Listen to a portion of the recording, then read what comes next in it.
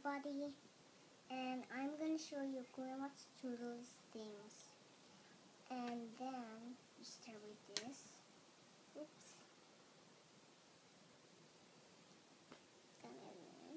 And then start with the start with a nail. Put it a little bit straight like that. And then and then we we put this here.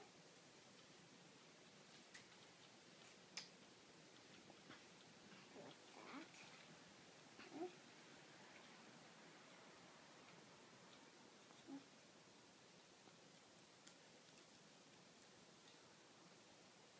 Let us take it out.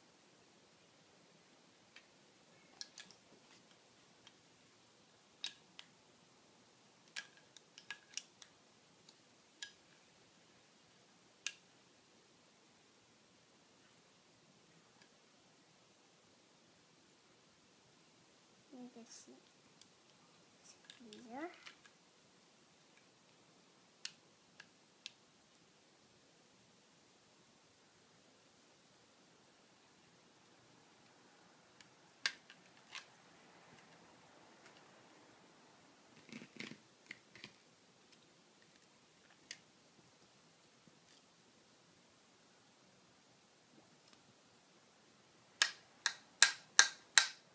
So, bye.